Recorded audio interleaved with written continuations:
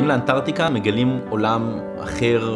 זה הרגשה שאנחנו לבד ספינה אחת של מטיילים בתוך יבשת אדירה, שאנחנו לא רואים אף אחד אחר.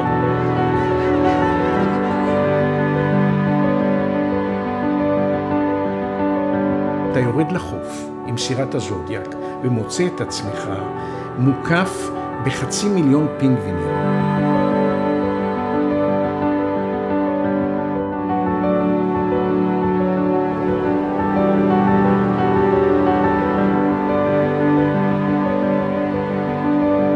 אתה עובר בקניונים של קרח, והקרח יוצר צורות מופלאות.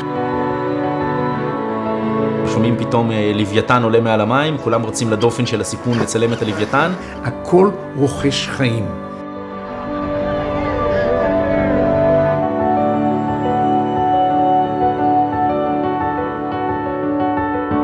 זה פשוט אה, הרגשה שאנחנו הולכים שם בתוך ארץ ששייכת לדובים, לא לבני אדם.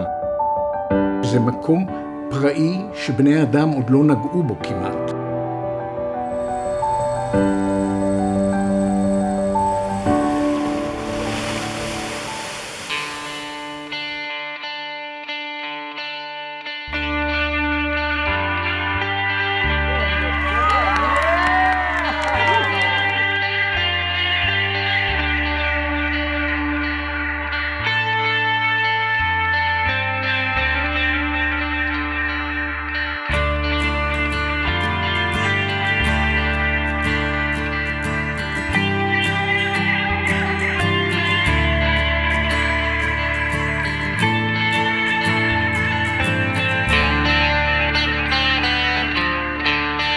Thank you.